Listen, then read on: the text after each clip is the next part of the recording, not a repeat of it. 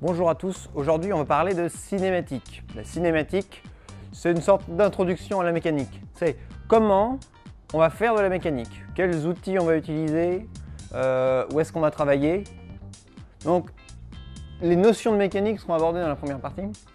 Et puis ensuite on va parler de, euh, caractéristiques euh, propres à la mécanique qui vont nous intéresser quand on va parler de, de mouvement. C'est la notion de position, de vitesse également l'accélération. Donc, la cinématique, une sorte de préambule à la mécanique, on voit ça tout de suite.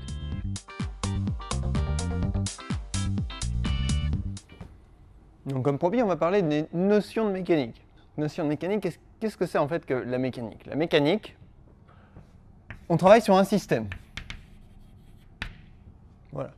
On fait l'étude d'un système physique on fait de la mécanique. Ce système, il va falloir le décrire dans un certain référentiel.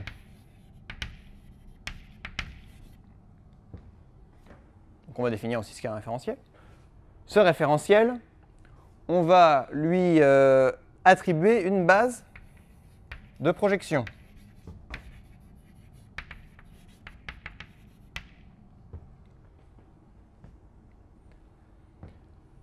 Et dans cette base de projection,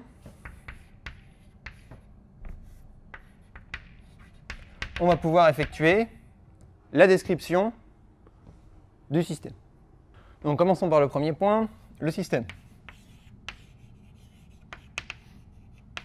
Donc le système, trivialement, c'est euh, ce qu'on étudie. Hein. c'est l'objet qui nous intéresse. Donc pourquoi est-ce que je prends la peine euh, d'écrire ça? Ben, C'est tout simplement euh, pour qu'on puisse sentir la, différence entre plusieurs systèmes. Donc prenons un exemple, ce système. Donc ça c'est le ressort. Là j'ai une première masse euh, M1, une autre masse M2 hein, par exemple. Bon. Je place cet objet dans l'univers à l'écart de toute interaction avec d'autres corps. Bon. Je suis donc sur un système isolé.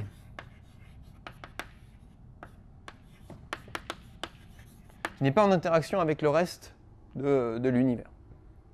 Donc ce système va avoir un certain comportement. Hein. Newton, les lois de Newton vont nous permettre de décrire le comportement de ce système. Bon, alors maintenant, je vais prendre la même chose, mais cette fois, mon système, ce sera uniquement cette petite masse. Bon, voilà, c'est très différent. Là, j'ai un système en interaction. Donc quand je vais lui appliquer les lois de Newton, finalement, euh, il va falloir que je prenne en compte l'interaction aussi de la, deuxième masse, hein, donc, via l'intermédiaire de ce ressort. Ça, ça pourrait être une petite molécule, par exemple. Bon, bah, si je décris un atome, je ne vais pas du tout décrire la même chose que si je décris le système en entier. Donc ça, bon, ce qu'on étudie, ça a une importance, parce que les théorèmes ne sont vrais que relativement au système qu'on étudie. Donc ça, c'était la première chose. Ça, c'est la, théorie, euh, la théorie qui régit ça est très facile à comprendre. Euh, maintenant, parlons un peu du référentiel. Le référentiel, qu'est-ce que c'est? Prendre un petit peu plus de place. Le référentiel, ça va être un ensemble en fait. Ce sera l'ensemble d'un repère et d'un euh, d'un endroit, d'un endroit fixe où je vais placer ce repère. Donc,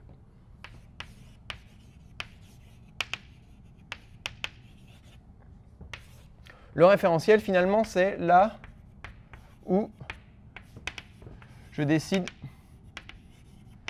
de regarder le mouvement.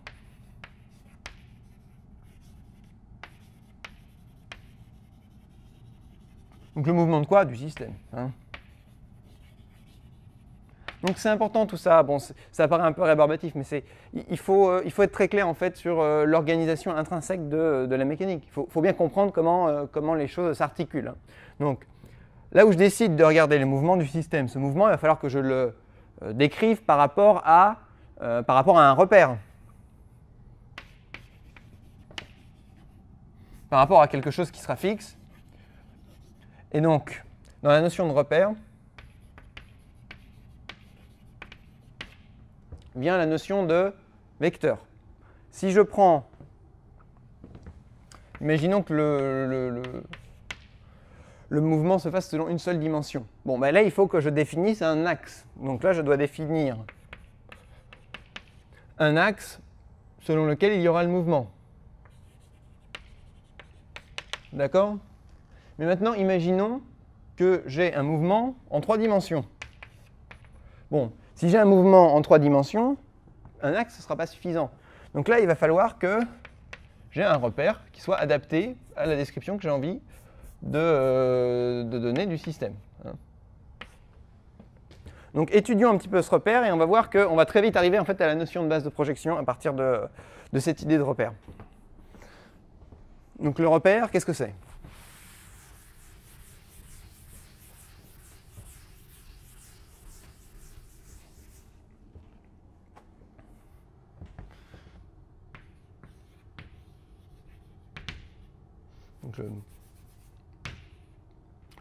Le repère, c'est par exemple un ensemble de vecteurs E1, E2, E3, qui vont avoir certaines propriétés. quelles sont les propriétés qui vont nous intéresser pour ces trois vecteurs? Bon. On va faire en sorte que les trois vecteurs euh, soient dans euh, trois, trois différentes directions de l'espace, mais de façon bien particulière. Déjà, on va, euh, on va poser euh, ce produit scalaire. Donc là ici avec le symbole de Kronecker qui signifie i différent de j égale 0, i égale j. Euh, plutôt comme ça. j égale 0, et ça, ça implique donc EI vectoriel EJ, euh, pardon, EI, euh, EI scalaire EI sera égal à, à 1, mais EI, EI euh, scalaire EJ avec I différent de J, ce sera égal à 0. Donc ça, qu'est-ce que ça veut dire? Ça veut dire que 2 à 2, en fait, à chaque fois que je prends les vecteurs, chaque fois que je prends une paire de vecteurs qui sont différents, E1 scalaire E3 ou E1 scalaire E2, 2 scalaire E3, je vais avoir un produit scalaire qui sera nul. Donc ils sont tous orthogonaux les uns aux autres. Donc là, qu'est-ce que, j'ai? J'ai une orthogonalité des vecteurs.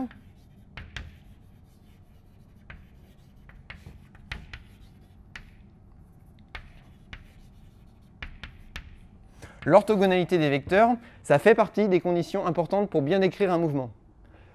Si vous avez des vecteurs orthogonaux, alors vous n'avez qu'une façon de décrire le mouvement euh, relativement à ces trois vecteurs. D'accord? Donc ça, c'est très important de le comprendre, parce que ça va nous permettre de définir ce que c'est qu'une base après. Donc, l'orthogonalité des vecteurs, c'est très important, mais ce qu'on va faire, on va aussi,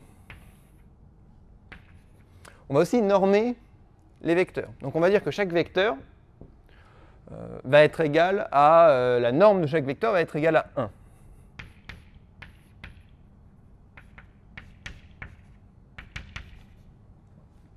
Si la norme de chaque vecteur est égale à 1, du coup,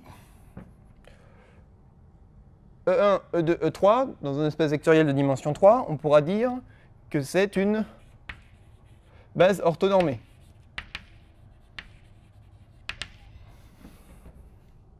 Donc une base orthonormée, euh, euh, l'espace en mécanique newtonienne est un espace vectoriel de dimension 3. C'est-à-dire que le temps ne fait pas partie des, euh, des relatifs. Le temps est absolu en mécanique newtonienne. Donc là, on a, si on a ces deux conditions, en fait, l'orthogonalité des vecteurs, donc qui va nous permettre décrire les mouvements de façon euh, assez pratique, et euh, les vecteurs normés, on a une base orthonormée. Donc cette base orthonormée, on peut lui rajouter encore une condition. Imaginons que je mette les vecteurs comme ça. Je vais prendre E1, E2 et E3. Bon, ça c'est une façon de placer les vecteurs, mais je pourrais aussi les mettre comme ça. E1, E2, E3. Là, on voit que c'est pas superposable. Hein. Là, euh, là, en chimie, on parlerait de chiralité sur ces deux bases. Bon, et bien là, on a une base qu'on va dire directe. Donc vous pouvez repérer une base directe L'agencement des vecteurs en fait se fait exactement comme les doigts de la main. Donc vous avez E1 sur le pouce, E2 sur euh, l'index et E3 sur le major. Et l'inverse, on dira que l'autre base est indirecte. Donc par commodité, en physique, on travaillera toujours sur des bases directes. Car euh, bon, la, plupart des, formules qu'on utilise en fait va être euh, basée sur la, sur la base directe. C'est un peu comme quand on parle en électrocinétique de convention générateur et convention récepteur. Là, ça va être la même chose. Si vous ne voulez pas avoir à chaque fois un signe moins qui vient vous gêner dans les calculs, essayez toujours de travailler en base directe quand vous décrivez un mouvement. Donc voilà, bon, on avance un peu dans la description des différents outils. Euh, on va décrire les mouvements via un ensemble de, vecteurs, donc de composantes selon les vecteurs de l'espace. Hein. Alors qu'est-ce qui vient après cette, cette notion de cette notion d'orthogonalité des vecteurs de la description Bon, on a une base orthonormée, mais maintenant on a différentes bases qui sont accessibles quand on fait de la, cinématique, quand on fait de la, mécanique.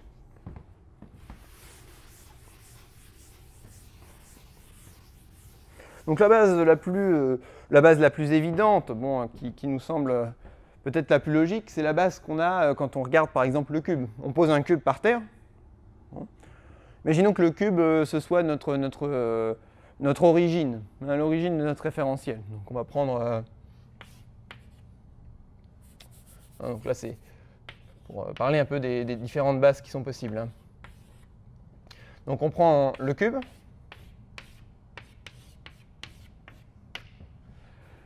Donc avec ce cube, vous pouvez, décrire, euh, bon, vous pouvez décrire le, monde qui vous entoure. Vous prenez le repère inscrit dans le cube. Donc ça, on va par exemple appeler l'axe X, l'axe Y, l'axe des Z. Là, vous obtenez une base qui sera dite, euh, en prenant par exemple origine 0, là vous avez une base qu'on va appeler la base cartésienne. Donc la base cartésienne, bah, elle vous permet de donner les coordonnées d'un point de l'espace à un instant t par rapport à l'origine. Donc en prenant une composante selon x, une composante selon ey, une composante selon ez. Remarquez bien que je l'ai mis dans le sens direct. C'est important de, faire attention à ce, détail. Donc comment est-ce que je décris par exemple, euh, je vais placer un point M ici. Comment est-ce que je décris la position de ce point M? Simplement, le point M, il a une composante selon EX. Il va avoir aussi une composante selon, euh, selon EZ. Bon, là, c'est assez difficile hein, de le représenter, mais imaginons que ce soit, euh, par exemple, le point qui est ici. Bon, vous voyez aisément que euh, on, peut, décrire sa position en fonction des vecteurs de l'espace. Hein. Donc là, ici, on va se contenter de dire que le vecteur OM, le vecteur OM qui va nous donner finalement la position du point M par rapport à l'origine, donc l'emplacement, hein la position. Le, vecteur OM ici, on pourra l'exprimer comme x, la valeur de ça, hein, selon, euh, selon le vecteur EX, plus y, EY, plus z de z. Bon, et là, là j'imagine que vous vous demandez, c'est est-ce que la base cartésienne est la seule base qui, soit, qui soit euh, utile en physique? Ben, Pas du tout. Pas du tout. Donc les deux autres bases qui sont utilisées aussi en physique sont la base cylindrique et la base sphérique. Donc on va les décrire un petit peu. Déjà, là, en blanc, j'ai représenté les trois vecteurs de la base cartésienne. Donc là, EX, ici EY, et ici EZ. Donc, Là, vous voyez, j'ai représenté un cylindre. Donc ce cylindre, j'ai placé un point M dessus. Donc, la description de ce point M pourrait très bien se faire hein, selon euh, EX, EY et EZ. Maintenant, imaginons que ce point M est en rotation autour de O dans le plan euh, X, OZ. Donc, si c'est le cas, si vous avez un point qui tourne comme ça, pourquoi est-ce qu'on s'embêterait à aller lui donner une description selon trois vecteurs qui ne sont pas du tout adaptés finalement à, euh, à son mouvement? Donc ce qu'on va faire, on va utiliser deux vecteurs qu'on va appeler le vecteur, le vecteur ER, comme radial, et Eθ comme euh, l'angle en fait que va faire le vecteur radial par rapport à, au repère précédent. Donc ce vecteur ER et ce vecteur Eθ, ils vont venir compléter ce qu'on va appeler la base cylindrique. Donc la base cylindrique, on va garder le vecteur EY. Bon là ici c'est pas très le, choix ici le choix que j'ai fait des vecteurs de la base cartésienne n'est pas très judicieux. Je vais les changer de façon à ce que ce soit plus proche de ce que vous pouvez trouver dans un cours. Donc ce serait, tout à fait juste, hein, tout à fait équivalent. Mais euh, je vais me rapprocher au maximum de, ce qu'on a d'habitude dans le, cours de, de maths sup. Donc ici, en général, c'est le vecteur EZ qui va être considéré comme le vecteur euh, qui va diriger en fait, la hauteur du, cylindre. Hein. Bon, évidemment, c'est interchangeable. Donc le vecteur EX, EY, donc dans le plan x, o, y, là vous avez le, déplacement de m. Donc ici, finalement, la base cylindrique va s'exprimer avec les trois vecteurs ER, Eθ, Ez. Bon, on ne va pas le vérifier ici, mais je vous laisse prendre le soin de, euh, euh, démontrer hein, que ces trois vecteurs sont bien une base orthonormée directe. Vous voyez comment j'ai euh, représenté les vecteurs. Là, on a un angle droit, Là, on a un angle droit. Et le vecteur Eθ, donc, que je peux aussi représenter à ce niveau-là, il fait également un angle droit avec le vecteur EZ. D'accord? Donc vous voyez deux descriptions possibles, soit en base cylindrique, soit en base cartésienne. Mais bon, ça dépend pour quel type de mouvement. Euh, pour des mouvements type euh, électron, euh, je n'oublie pas hein, cette ligne-là. Hein. Donc par exemple pour des électrons qui tournent sur un, donc pour des modèles un peu, des modèles un peu euh, type euh, début du XXe siècle, là, pour la description des électrons, euh, pourrait très bien fonctionner avec ça. Alors évidemment, on a le modèle planétaire également. Planétaire, vous avez les planètes qui circulent sur un, plan. Donc tout ça, ce sera assez facile en fait de les étudier de par la base cylindrique. D'accord? Donc OM ici, c'est quoi la description? Bon, bah, je vais repérer la position de M par rapport à l'origine en fonction des différents vecteurs. Donc ici, euh, là j'ai un certain rayon. Bon, ici j'ai fait en sorte que le rayon soit élémentaire, mais là je peux mettre euh, RER, donc une composante ici euh, scalaire multipliée par le vecteur ER, plus bah, finalement l'altitude. On voit que le vecteur R ici, eh ben, il, a, il, a, le rôle finalement de x et de y. Donc c'est un vecteur qui va directement sur notre point indépendamment de l'endroit où se place le point, on aura toujours le vecteur R qui ira vers lui. Donc finalement ici, la description en ER, elle suffit. Il n'y a pas besoin d'avoir une description en Eθ. Notre, euh, notre point M, il ne sera, il sera jamais décrit par Eθ. Mais on, va voir euh, à quoi sert Eθ euh, juste dans la deuxième partie de, ce cours. Et puis on n'oublie pas quand même l'altitude, hein. l'altitude de notre point. Voilà, donc vous voyez là, on est passé sur une description avec R et Z comme, comme composante. Hein. D'accord Bon, je vais aller un peu plus vite sur la base sphérique. Vous avez compris le principe. Donc là, on a, euh, on a trois vecteurs cette fois. Donc sur la base sphérique, on a pris un premier angle par rapport euh, au vecteur, euh, à notre premier vecteur ici. Après, on a pris un deuxième angle par rapport à la verticale. Et ce qui nous intéressait, en fait, c'est la position, c'est l'éloignement par rapport au centre. Donc là, ici, pour la description de l'emplacement, bah, la seule chose qui va, qui va nous intéresser, ça va être la position relativement à, à ce vecteur. En fait, il n'y a que ce vecteur qui va intervenir dans, euh, l'emplacement du point M. Donc on va noter ici ρ, ρ pour la position. Bon, dans la pratique, c'est la base la moins utilisée, ce sera aussi la plus difficile. il, y a, une corrélation évidemment. Euh, bon, pourquoi est-ce qu'elle peut servir? Ben, encore une fois, pour les électrons, donc imaginons cette fois que, euh, imaginons que l'électron n'ait plus une trajectoire comme ça dans un plan, mais que cette fois il puisse se déplacer de façon un peu anarchique dans un, dans un, volume, euh, dans un volume donné. Euh, ben, là, on va être obligé d'avoir d'avoir un,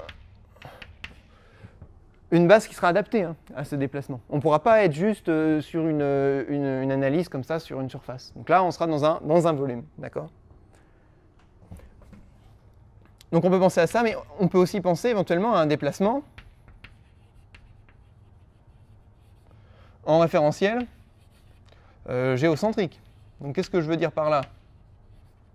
Imaginez euh, un avion, un avion qui part d'Europe pour aller vers les États-Unis. Euh, eh ben, ce sera très facile de décrire son mouvement à l'aide d'une base sphérique, beaucoup plus qu'avec un repère cartésien. Imaginez si vous devez décrire le mouvement d'un avion à l'aide d'un repère cartésien sur une surface, euh, sphérique. C'est très compliqué, très compliqué. Alors que là, vous pouvez facilement décrire le mouvement en fonction des angles phi et, des, de l'angle, enfin, des angles phi et θ. D'accord? Vous voyez un peu où je veux en venir? Donc là, si je complète un petit peu l'écriture, euh, là je vais avoir l'angle θ encore et l'angle phi. Enfin pardon, les vecteurs e θ et e phi, autant pour moi. Donc là, Vous voyez que je n'ai plus aucun vecteur en commun cette fois avec la base cartésienne. Bon, alors je vais détailler un tout petit peu la notion de changement de base, uniquement euh, pour passer de la base cartésienne à la base cylindrique.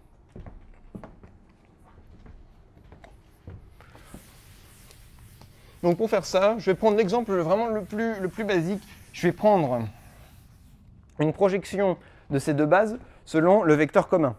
Donc là, si vous avez suivi, normalement, le vecteur commun à ces deux bases, c'est EZ. C'est le vecteur qui va diriger la hauteur du cylindre. D'accord? Donc je vais me mettre selon, euh, ce vecteur EZ. Bon, qu'est-ce que je vois? Qu'est-ce que je vois quand je fais ça?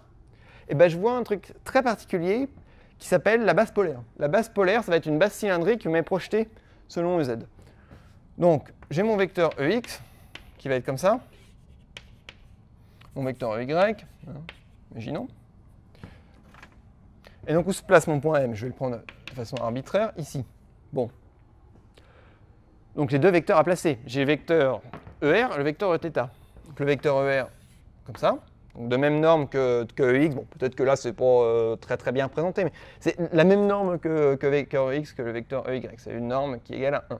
Donc mon vecteur ER. Et mon vecteur Eθ, il est orthogonal, comme ça. Je vais le placer ici.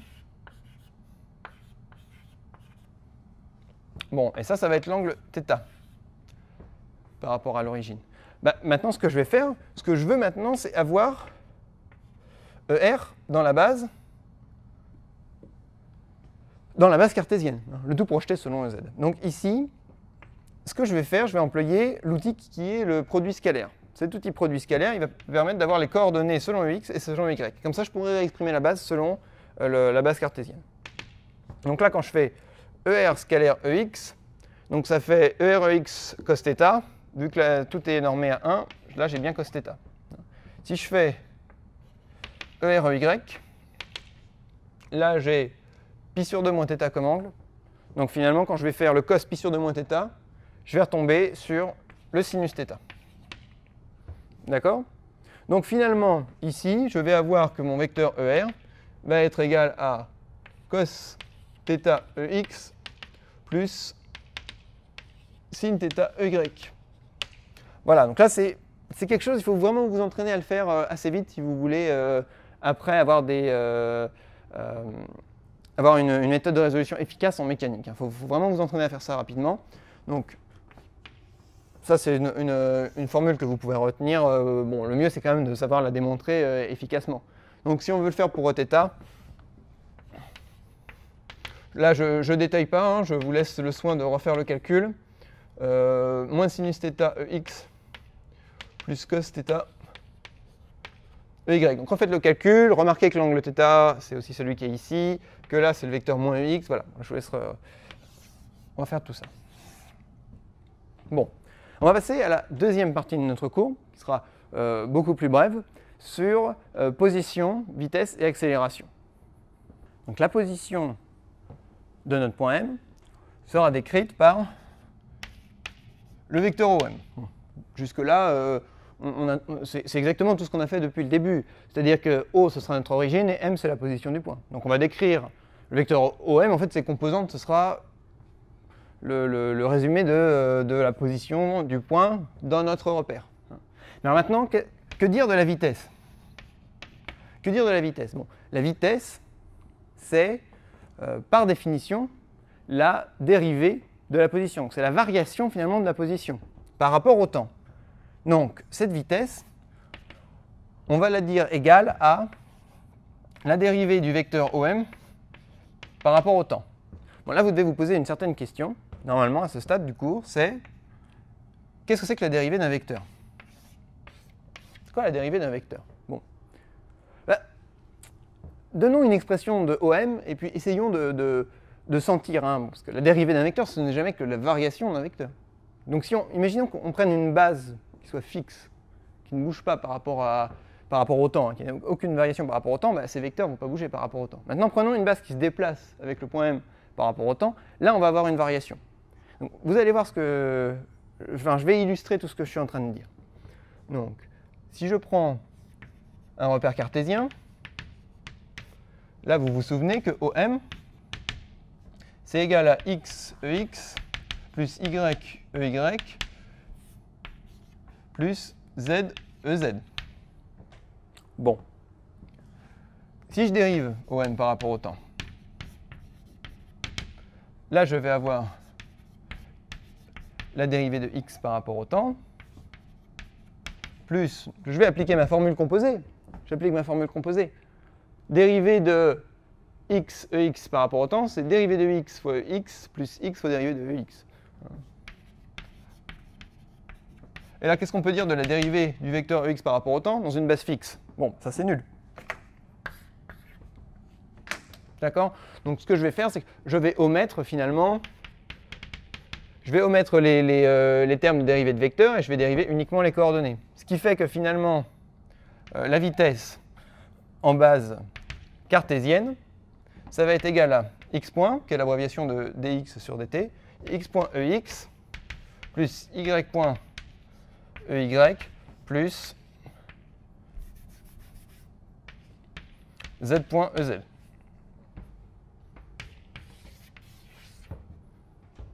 D'accord? Ce qu'on peut faire pour le cartésien, on peut également le faire pour le cylindrique en prenant en compte la variation des, euh, des vecteurs cette fois.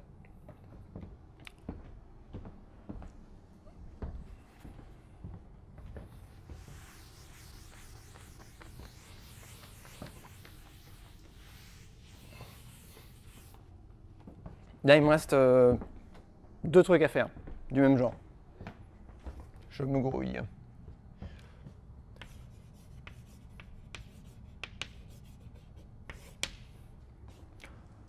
Donc prenons le cylindrique. Ici, on a dit que le vecteur OM, on pouvait l'exprimer comme RER e plus Z de Z. Bon, bah, je vais dériver. La dérivée de OM par rapport au temps, ça va donc être égal à R.ER e plus R d de ER sur dt. Dérivée de ER sur dt, bon, on ne sait pas ce que ça vaut, on va voir. Plus Z point EZ. Pourquoi est-ce que je ne dérive pas ici le vecteur EZ Parce qu'il est fixe dans la base cylindrique. Le vecteur EZ, c'est celui qui dirige, euh, qui dirige finalement la hauteur du, cylindre. Donc il est fixe. Vu que mon cylindre est fixe, c'est que c'est mon référentiel. Bon. Euh, qu'est-ce que ça vaut DER sur dt Bon, alors là, je vous rappelle la formule qu'on a eue tout à l'heure. ER, c'est égal à cos θ EX plus sin θ EY. Bon, EX et EY ici sont fixes. Donc si je dérive ER par rapport au temps, finalement, ça va être les dérivés de, euh, de cos θ et de sinus θ qui vont avoir une influence. Donc ici, DER sur dt, ça va être égal à donc la dérivée de cos θ qui va être moins sinus θ. Ex, donc c'est une fonction de θ. Donc là, il ne faut pas que j'oublie de multiplier par θ point. D'accord Plus euh, la dérivée du sinus, donc ici, qui va être le cosinus. D'accord Donc là, je me rends compte que ce que je viens d'écrire, finalement, c'est que la dérivée du vecteur ER par rapport au temps, ça va être égal à θ point Eθ. Et c'est là que, c'est là que, que l'on comprend un peu mieux la vitesse, donc la dérivée du vecteur R par rapport au temps, donc qu'on peut comprendre assez aisément, que notre vecteur R est comme ça, que notre vecteur Eθ est comme ça. La variation de R, finalement, elle se fait selon Eθ, parce que Eθ il est perpendiculaire à ER. Donc quand vous avez ER qui commence un peu à tourner comme ça, et bien sa variation se fait selon Eθ immédiatement. Donc c'est ça que traduit en fait cette formule qu'on vient de trouver par, euh, par le calcul formel. Donc ici, en reprenant cette formule de la dérivée du vecteur ER, en l'injectant dans l'expression de la vitesse en coordonnées cylindriques, on obtient donc ici euh, R.ER plus R, euh, donc ici c'est R point E plus Z point EZ. Donc je vous invite à reproduire la même chose euh, pour, pour la base sphérique. Et vous verrez qu'on euh, obtient également une formule qu'on peut exprimer en fonction des trois vecteurs de la base sphérique. Donc si là, ici, la position ne dépend pas du vecteur Eθ, la vitesse, elle, bien sûr, elle a une composante selon Eθ. Bon, alors qu'est-ce qu'on peut, euh, conclure de tout ça? Bah, On peut conclure que euh, ici, si au lieu de s'intéresser à l'accélération, on s'intéresse à la, pardon, au lieu de s'intéresser à la vitesse, on s'intéresse à l'accélération, eh ben, on pourra appliquer le même raisonnement. Finalement, l'accélération, ce n'est jamais que la dérivée de la vitesse. Donc ici, ici, on a la dérivée de la vitesse. Donc, euh, en coordonnées cartésiennes, on aura encore une fois on aura encore une fois des vecteurs qui, ont une accélération nulle. Donc du coup, l'accélération ici sera égale à x point point ex plus y.ey plus z.ez. Alors qu'en coordonnées cylindriques,